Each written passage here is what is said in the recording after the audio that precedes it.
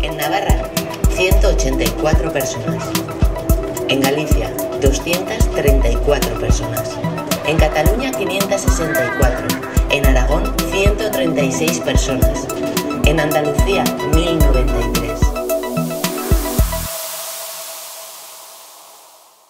Bueno, pues habíamos convocado este acto de hoy aquí en la Plaza del Castillo para visibilizar la dinámica que desde el inicio de la crisis sanitaria hemos venido realizando desde Sospreso a COVID-19 y en concreto hoy queríamos visibilizar eh, el número de personas presas que están cumpliendo condena fuera de su lugar de origen. En el caso de Navarra son 184, que es el número que hemos reflejado en la moqueta y lo que hemos visibilizado es que esta situación además se repite en todas las comunidades del Estado español y afecta a más de 8.000 personas eh, presas, más otras más de 5.000 personas que la Secretaría General no tiene determinado su lugar de, origen o de arraigo.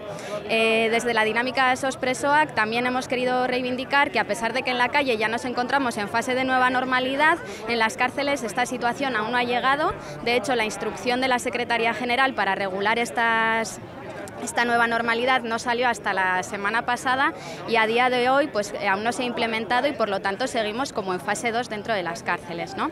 Eh, durante todo este tiempo hemos venido exigiendo que el desconfinamiento en las cárceles tenía que hacerse igual que en la calle y hemos querido visibilizar también que esto no ha sido así y que hay que dar pasos ya y poner fechas para que finalice esta vulneración de derechos más de la que habitualmente se sufre en las cárceles, porque la instrucción además que hizo la Secretaría General, pues eh, básicamente deja al arbitrio de, las, de, los centros penitenciarios el ir implementando las medidas, cosa que nos vuelve a parecer muy poco eh, concreto y muy peligroso porque puede permitir que la situación se, se alargue por más tiempo del estrictamente necesario.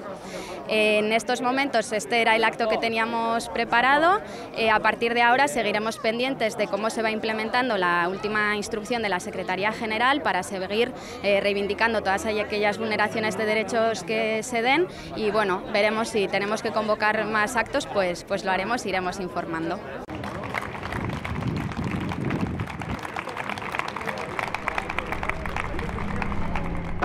Tchau.